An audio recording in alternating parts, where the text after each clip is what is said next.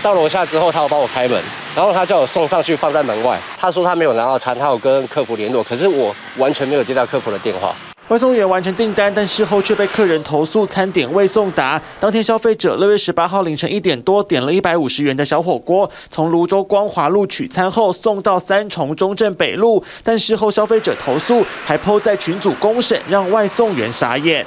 就是吃面前的意思，教外送员点说未实说支付吧，后续我会刷卡回去啊，我会再给你小费之类的。不是只有三重区这边啊，就是在就我在社团上面听到的，包含在新庄，包含在板桥。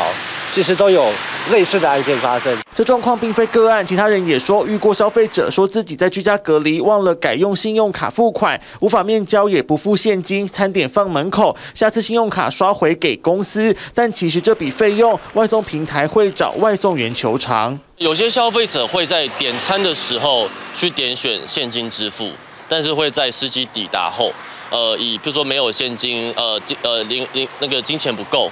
或者可能隔离中，所以我没办法支付，平台不会有任何的查核的动作，会直接处理司机。这样的客人比较是想要骗餐点，以及骗平台的点数。